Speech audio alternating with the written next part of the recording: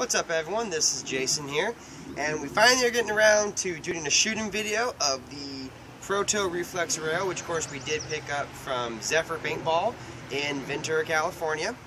Now today we're going to be using graffiti paint, which is boring out at 684, and the Proto barrel that we got with the gun matches perfectly. So this back is up 684.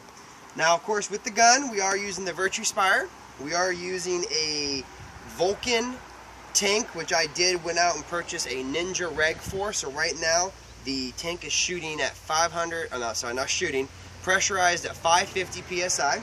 The gun is on semi at the stock 12.5 setting.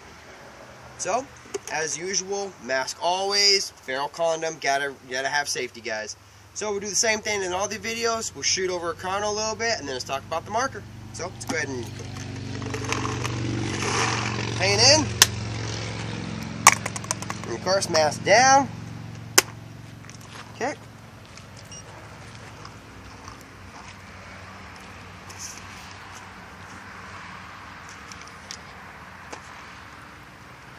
Okay, so over the chrono. First shot was 237. Second shot 279. Next shot 275. 275. 276. So first of all, I have to admit the reflex rail is a very, very quiet marker. Very hard to find out if you're hit hiding somewhere where the balls are coming from. Great sound signature. One thing I can tell you just by holding the gun, this is back heavy. And it's not my tank, because I've played with the aliens, the Dyes and everything.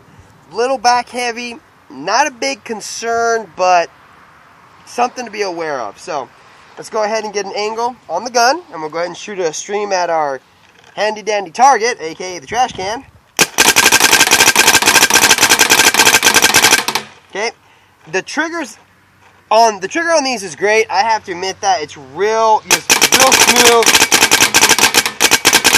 real easy to find the sweet spot on the trigger. Okay, so now we're gonna do so I'm going to hold the, the tank here, and we're just going to pay attention to the barrel rise a little bit. Okay? Now I'm not going to hold the grip frame, I'm just going to hold the tank and just flick the trigger here so you guys can see the how high the gun raises when you shoot it.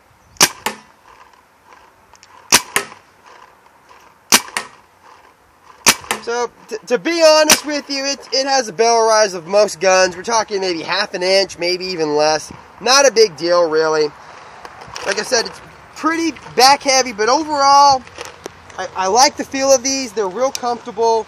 They remind me a lot of my PM8 that I had and even my DM9. You know, and like I said, real good trigger, real easy to get a nice stream of paint. Not a problem on that. I'm going to go ahead and just finish this up.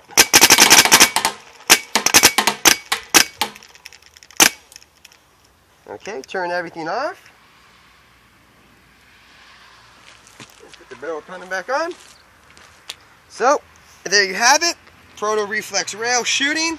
Like I mentioned, quiet little gun. Not too shabby for the price. Like I mentioned, $499 retail. Get a pretty good barrel, nice little case. Other than that, this is Jason with the Reflex Rail shooting video. Thank you very much for watching.